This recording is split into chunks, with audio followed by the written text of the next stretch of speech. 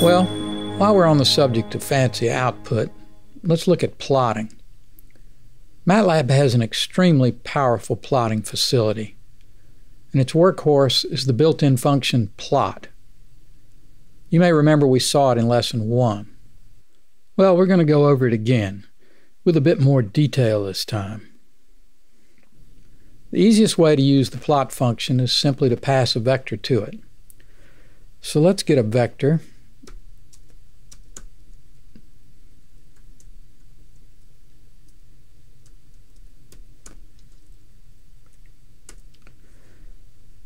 This is just a list of the squares, the numbers from 1 to 10.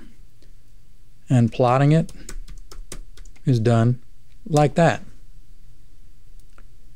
And there we go, there's our plot. As we saw in lesson 1, it shows up as a separate window and it's labeled figure, figure 1. We docked it last time like this, shows up right here. So now we've got the command window visible, but I'm going to undock it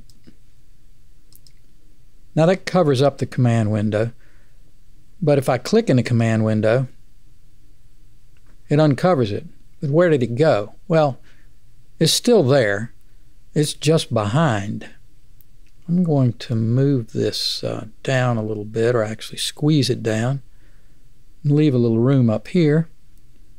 And then I'm going to uh, resize this figure window and put it up here so I can see this figure and I can have other figures laid out here. I think I'll start this one over to the left. Okay, so where was I? Uh, oh yeah, this. So this is a half of a parabola. To plot both sides of the parabola, we can do this.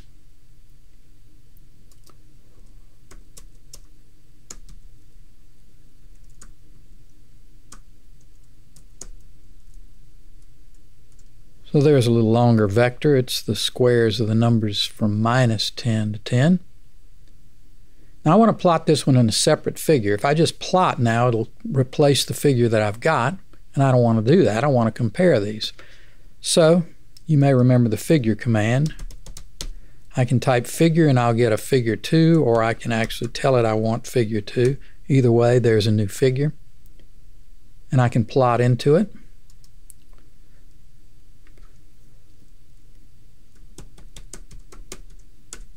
There. Let's make this one about the same size as the other one. Note you can just change the aspect ratio too. And let's tuck them over here right side by side. So now we can see the whole parabola there. And you'll notice that MATLAB picks a range. Pick 0 to 10 here to get all the points. Pick 0 to 25 here. Well, you might wonder, shouldn't this go from minus 10 to 10? But no, all we did was give it the A, which is these numbers here, and these indexes here, these indices, go from 1 to 21, and they just represent the indices of the elements in A. To properly plot a mathematical function like this, we need to pass two vectors of the same length, one with the x values and one with the y values. Let's do that.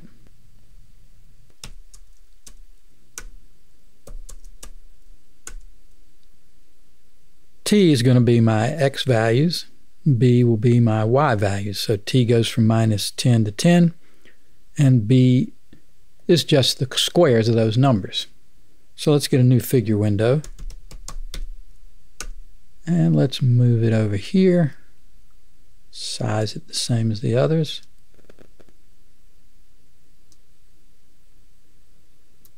And this time we're going to plot with two arguments.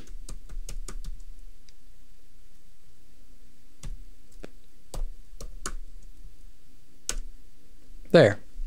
The arguments are vectors, the t and the b, and they have to be the same length.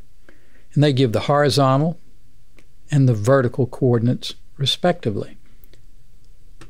So now we see that the range, or actually the domain down here, goes from minus 10 to 10 as we wanted it to do. And the range here in the y-axis goes from 0 to 100. Again, MATLAB picked these for us. It's also easy to extend this idea to put more than one plot in a figure. So sometimes you want to compare two plots right in the same figure. You can do this with plot because it's polymorphic. It accepts a varying number of arguments as we've already seen. So let's do an example of that. We're going to plot x1 versus y1 and x2 versus y2 on the same plot. So let's get these vectors ready.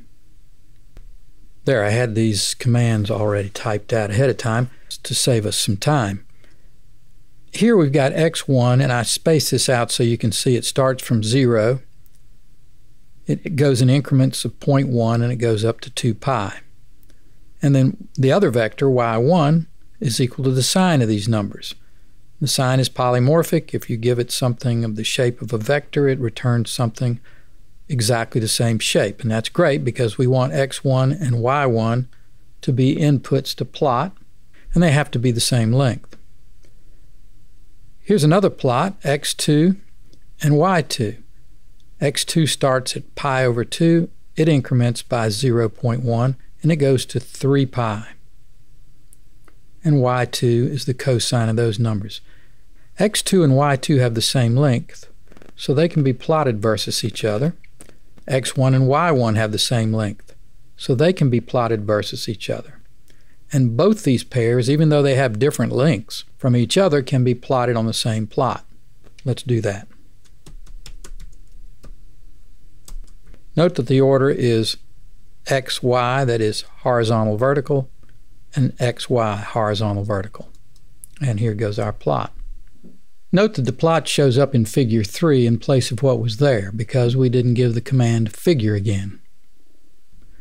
Notice that there are two different colors. MATLAB picks the colors for you. There's a default set of colors. You can specify the colors, and we'll show you how to do that in just a second. But I want to point out that your version of MATLAB might choose different colors. MATLAB just recently changed its default set of colors. In an older version, the first one would be blue, the second one would be green. In this version, the first one's, I would say, bluish, and the second one is reddish. So let's change the colors to be, uh, let's make the first one bright red and the second one black. And let's make the second one a dotted line. We can do all this with one command. Let's get a new figure. And I'm going to repeat this command that I just did, but I'm going to alter it a little bit. After the x1, y1, I'm going to insert a little short string, quote, r, quote, comma. That's going to tell plot to plot this as a red line. And then here, for the second one, I'm going to put quote, k, colon, quote. This K is for black. Why not B? Well, B is already taken up for blue. And this colon means plotted as a dotted line. So here we go. And let's make this a little smaller. And tuck it in over here. I guess I'm going to have to move all of these a little bit. Nice and neat. So you can see that this is in fact a red line and the default is that it's a solid line. And this is black. And if you look closely, you can see these dots. You can get lots more line styles with the command help plot. Let's do that. I'll scroll up a little bit and there they are. Over here on the left, you see the colors. In the middle, you see the marks that you can, the markers that you can plot. And over here, lines. We haven't plotted any markers yet. Um, let's do that. In fact, um, we can mix all three of these together. I'm going to plot an example with one from each column uh, in figure one. Let's see, to do that, hit return here. I'll pick figure one. When I do that, you'll notice that figure 1 got highlighted. And now I'm going to plot. I'm going to plot T and B again. I'm going to use an M for the color magenta, a double dash for a dash line, and a and an O that can be uppercase or lowercase to put markers that are little circles on there. And here we go. Isn't that pretty? It's magenta, it's got the dash line, and it's got these circular markers on here. Well, we've seen up here how to plot two things on the same figure. Uh, there's another way to do that. You can call plot multiple times and use the function called hold. Let's see how to do that. Let's do it in figure 2. We first make figure 2 the active figure with the command figure 2. So there. You can also do that by clicking figure 2 with the mouse. We notice that it's highlighted up here relative to the other figures. Now let's replace the current contents of figure 2 with a new plot. So we type uh, plot using the same x1 and y1 that we defined earlier. And there it is in red, which is what we requested. Now we give the command hold on.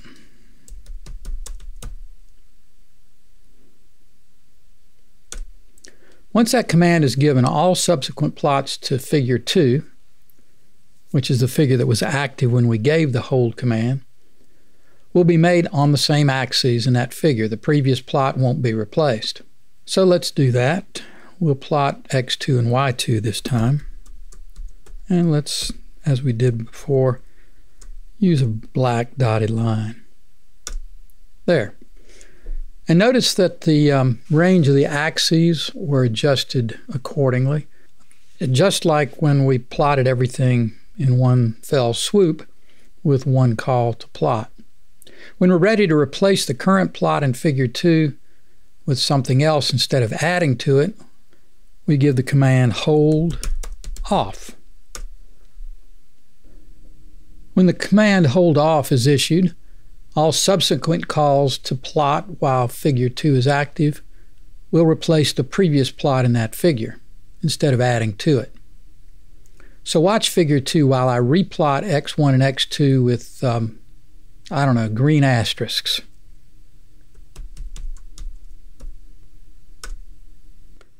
Hmm, that's a little garish. Anyway, as we showed you in lesson 1, there are additional plotting options, not reachable through the plot function itself, that you can get via separate functions. These options will enhance the visual quality of a plot that's already plotted. Let's apply some of them to the plot in figure 3. There, that's the active figure now. You may remember that grid turns on a graph paper like grid. Repeating the command turns it off and on and like hold, it can be used with the terms off and on as well, but we'll use it without this time. Let's see, um, grid. And you see this grid shows up here. And now grid again. Turns it off. And one more time, because I want it on. There. Now it's on. And you may remember the title, X label, and Y label commands. Let's, um, let's do those again.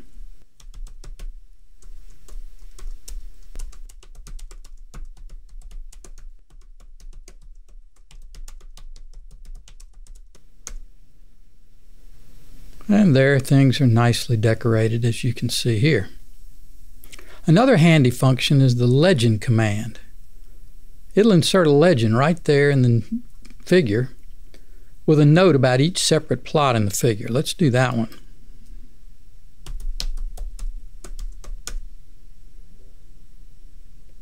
There, up here you see blue line here corresponding to this, or bluish, it's the same shade, and the word sine, and then the reddish line that corresponds to this one, uh, with cosine. And the order of these is the same, the order here is the same as the order in which we plotted them. So what you just need to do is remember that the first thing we plotted was a sine and the second was a cosine. And the legends will be straight. If you want this legend to appear somewhere else, in this case it was a nice blank spot up here. That's where it showed up.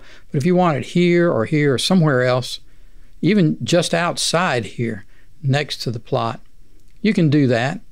Uh, you need to just check the uh, options in Help Legend. And finally, we'll remind you that you can control the range of the x and y axes with a function named axis. Let's do that.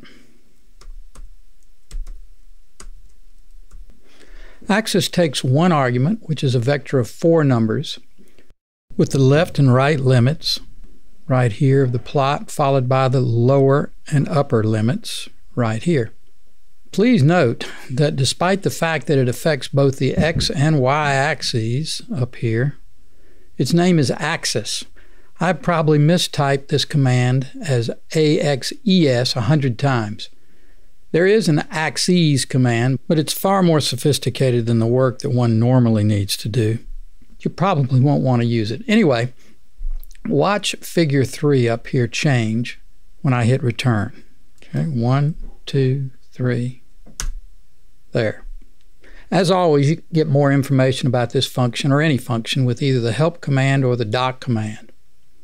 Okay, that's it for our second installment on plotting, except for closing the figures. You can do that with the function close, either one at a time like this,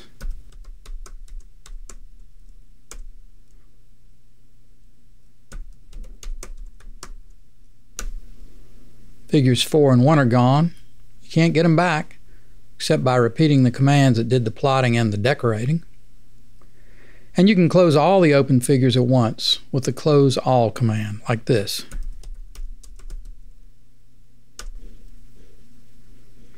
Now I've got all this room, I think I'll stretch the desktop back to full size. And I think I'll clear everything.